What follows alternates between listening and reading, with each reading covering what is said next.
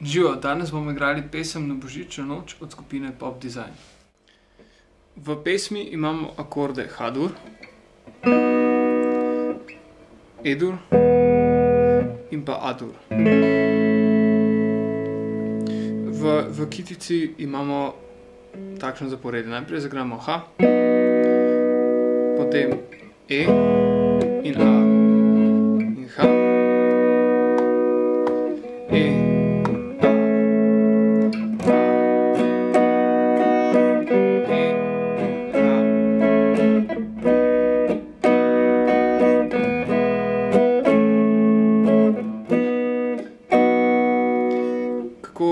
za začetek predlagam, da najprej zagrate samo na haju dvakrat dol, en, dva, potem pa E.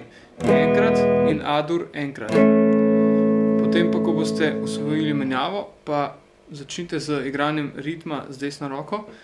In sicer tako na H-duru en krog štiri četrtinskega, torej dol, dol, gor, gor, dol, gor. Potem pa na E-duru samo dvakrat dol, ena, dva. In na A-duru gor,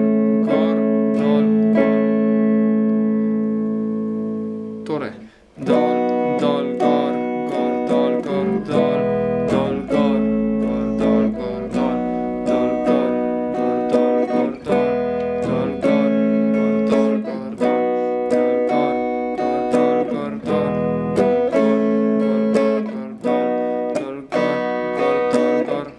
In na koncu kitice ritem na haju in pa na eju. In potem spet začnemo s hajem z drugo kitico. S petjem naj bi se kitica slišala približno takole. Zapadel je prvi sneg,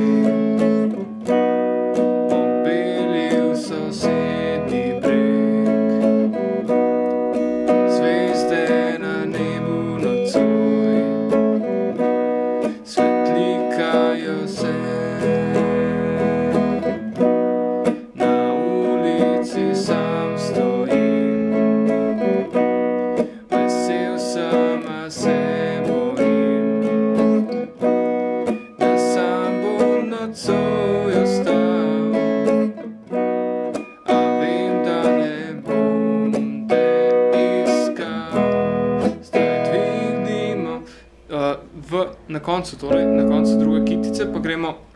Vem, da ne bom te iskal, gremo pa A-dur, H-dur, E. Vem, da ne bom te iskal. In potem refren. Na, na, na, na. A-dur, H, E. A-dur, H, E. Težko je, a ni mi žal, da sam sem ostal. Pri tem delu sam sem ostal, igramo pa G-smol ali As-mol, znižani A ali zvišani G, kakorkoli želite. Sam sem ostal in potem spet na A. Lahko ga zagramo tukaj, ne, bare. Ali navaden odprt A. Grem enkrat čez refren. Torej. 你莫愁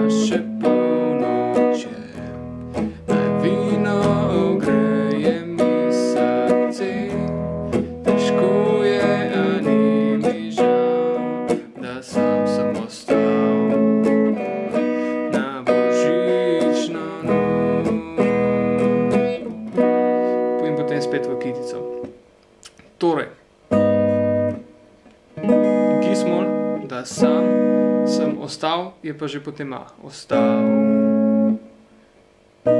Ha, na božično noč. Torej, če gremo to pesem naprimer iz A-dura, kar je en ton niže od originala, ki je H.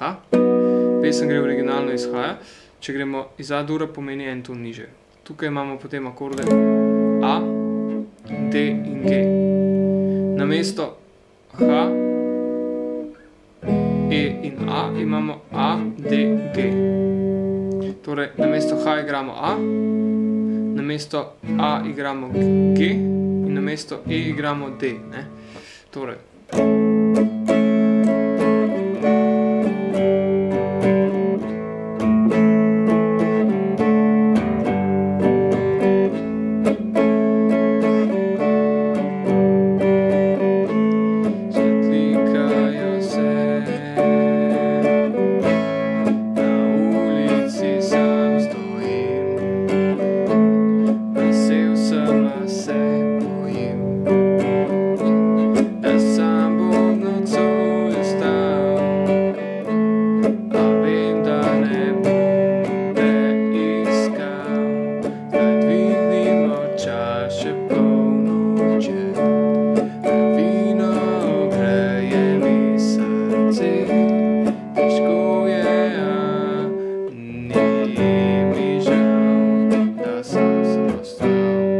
Tem primeru en ton niže, igramo pa, da sam sem ostal fismol in G.